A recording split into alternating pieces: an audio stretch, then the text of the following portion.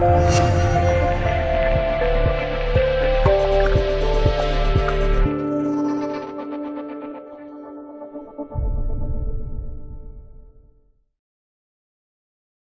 接受采访时，爵士后卫多诺安·米切尔称赞了马刺新秀朗尼沃克。我很喜欢朗尼沃克，他有那种特质，就是他很安静，但他是个杀手。这就像是科比那样的心态。我倒不是说他会成为科比，不会误会我的意思。我是说他有这样的心态，而且他也比我高。